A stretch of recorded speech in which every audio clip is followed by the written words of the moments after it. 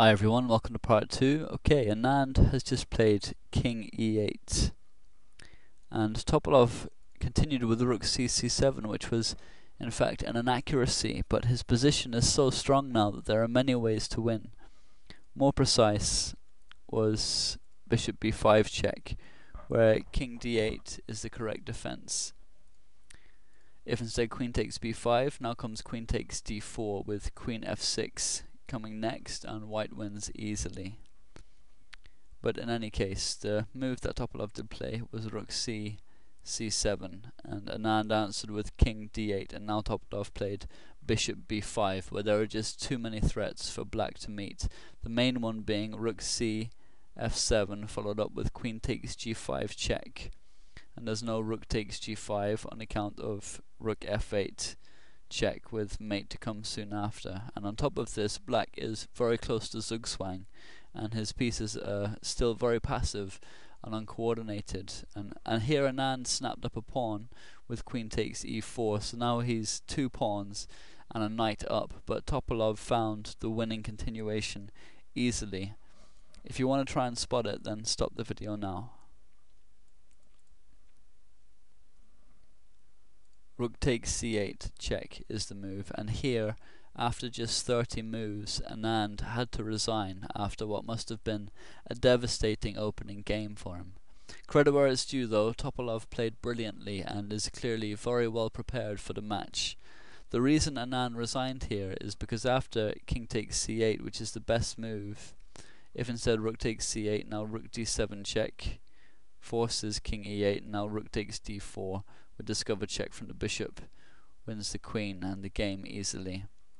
So it would have to be king c8. Now queen c1 check forces knight c6 to stave off the mate, but now bishop takes c6 and white is going into a winning endgame. After queen e3 check, queen takes e3, d takes c3, bishop takes a8, and it would be all over. So it's up to Vishy in game 2 to prove that his preparation is also excellent. Personally, I can't see him playing the Grunfeld in game 3 after this loss. Perhaps he'll try his Queen's Indian defence, which is usually excellent. It'll be interesting to see what he opens with tomorrow after this loss. I can't see him playing e4 and going into a Sicilian, but you never know. We've got a bit of time left over anyway, we may as well have a replay with the threatened squares on.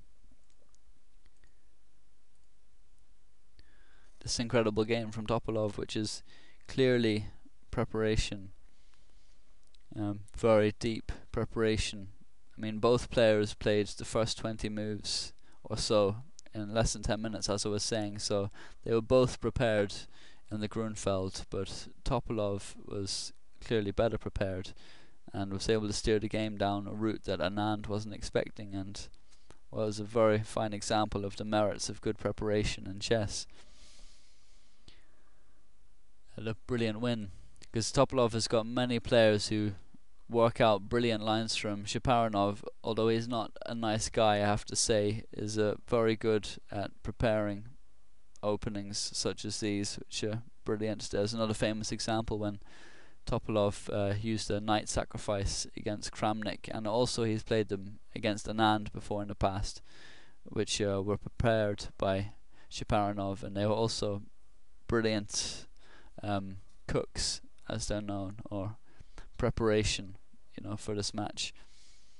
And uh, yeah, it was incredible to see. So Vishy is going to be on the back foot now. It's very hard. It's a massive deficit to be at uh, one game down. You know, right from the start. It's very hard to pull it back. It was perhaps most famously done by Bobby Fischer in 1972.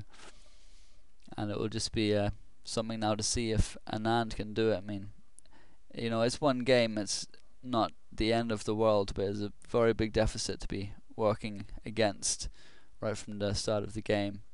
And uh, it seems that the decision to allow the match to take place in Bulgaria is working so far in Topalov's favour. But uh, you never know what could happen tomorrow. We'll have to wait and see what Vishy's got planned.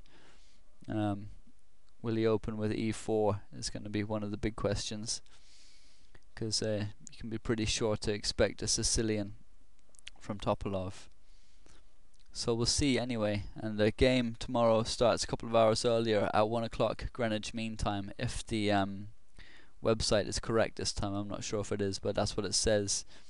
Anyway, and I'll certainly be there. As I said yesterday, my username is Distrudo, and I hope to see you there, and also that you enjoyed this analysis. Please leave any comments or thoughts. Thanks very much.